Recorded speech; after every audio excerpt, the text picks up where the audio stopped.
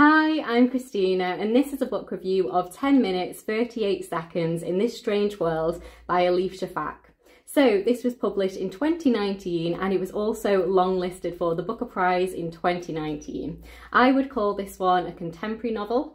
So this is the second book that I've read by this author. I read The Island of Missing Trees by her and I absolutely loved that book. It was definitely one of the best books that I read in 2022. So I was very much looking forward to reading some of her other books and I chose this one because I thought the premise sounded really interesting. So the kind of idea behind the title of 10 minutes 38 seconds in this strange world is once someone has died, their brain still has activity for a couple of minutes after their death.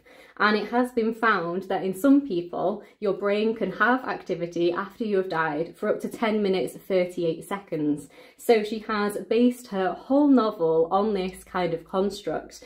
And our main character has died at the very beginning of this book. The first chapter is titled The End. And she is called Layla and she is a sex worker and she has been brutally murdered and her body is just lying in the open.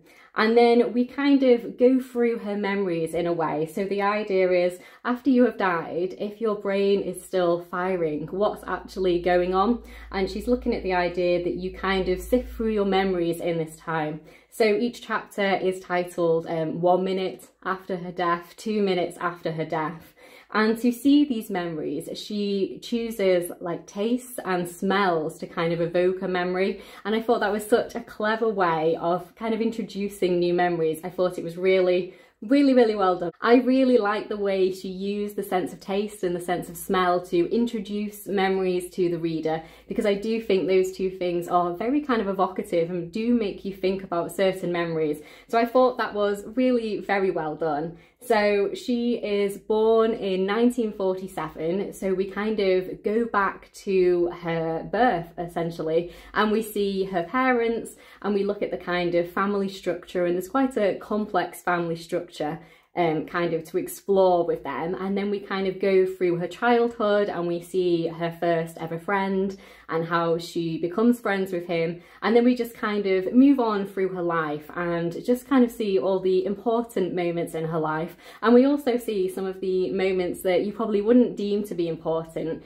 but are kind of like what shapes her as a person. So yeah, I thought it was really, really well done and I really enjoyed that part of it. So I have given this one four stars and it is a little bit of a low four stars and I will tell you why later on because it kind of goes into spoiler territory so I don't want to tell you why right now. I'll tell you why later um, just in case you don't want to hear any spoilers but just to kind of tell you more about the book in general. So yes, it started with the first chapter is titled The End and we just kind of go then back in time um, until she is very, very small. So she definitely plays with time a lot in this and I really enjoyed that. I thought that bit was very well done too.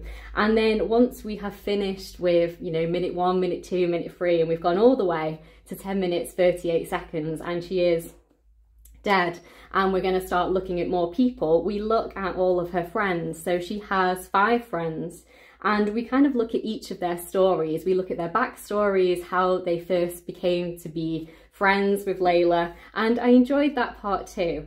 Now going into a little bit of spoiler territory now, um, the kind of second part of the novel um, kind of focuses more on trying to rescue Layla. So she is definitely dead and the body has been found and she has been buried. Now she's been buried and this is a real place in Turkey. She's been buried in the cemetery of the companionless and that's kind of where people go who have been kind of shunned by their families and shunned by society. So they are buried there and there's no headstones, there's no kind of names, they're just known by a number. And I think the author definitely looked at that really well. It was very interesting to see the other kind of people who are buried alongside Layla. She also does a little bit and tells you about the person to the left and the person to the right and so on. Um, but the bit I didn't enjoy quite as much is once we've kind of done with all of that and I thought it was a very poignant novel I thought it was a very emotional kind of read just to see this whole woman's life and how she ended up in certain situations and kind of see, you know, the grief she's gone through and so many different things. And then looking at the backstories of all of her friends, which were all very interesting. You definitely get to know a lot about each of them. Once you're done with all of that, it's kind of the rescue mission and the friends want to basically um, dig her up and bury her somewhere else. And I just kind of didn't really like that part of the storyline as much. So I, like I said, I thought it was very poignant, I thought it was very emotive, but once we got into that part and it was basically them just kind of hurtling along on the roads and they've got like tools and a pickaxe and they drop the pickaxe and they're gonna, you know, go and like exhume her body and rebury her. I just, it got a little bit silly. I just, I don't know. I didn't, I didn't quite understand the direction that was being taken. I, I just kind of like changed the tone of the book, I would say. Um, I was really, really enjoying it up until then. Um, so it was definitely going to be a higher kind of four star. But after all of that, it just, I felt a little bit more lukewarm towards it. I just didn't enjoy that second part as much. So I've given it more of a low four star, I would say. But I definitely think her writing is so beautiful. It definitely is as beautiful as it was in The Island of Missing Trees. Yeah, I just didn't really kind of like that ending. It was trying to make it, I don't know, it just didn't, it didn't really work for me, is what I was trying to say. I think I would have enjoyed it more had it been, uh, let's look at Layla's um, past, let's look at all of her friends and their backstories and then maybe for the final chapters for them to be maybe if they held like a wake for her and they all just kind of talked about her or just seeing how they went through the grieving process perhaps, especially the one who was in love with her, maybe we could have followed that kind of, that kind of idea. Um, so yeah, um, in comparison to the other novel I've read by her, The Island of Missing Trees, I would have to say I do like that one a lot more. I gave that one five stars. Like I say, it's one of the best books I read last year. Um, this one was good, I enjoyed it, but I don't think it's going to be, it's definitely not a new favourite for me and I definitely do prefer the Island Missing Trees. I think for that one it was a lot more hard hitting. I think this one could have been hard hitting, but I maybe didn't, it was the ending that kind of threw it off for me. Um, but yeah, her writing's still very beautiful and she definitely explores a lot of dark themes. And um, the majority of the book is set in Istanbul. Um, before, when Layla was a child, she was living elsewhere, kind of more of a remote kind of place. So we're also focused in there, but mainly it's set in Istanbul.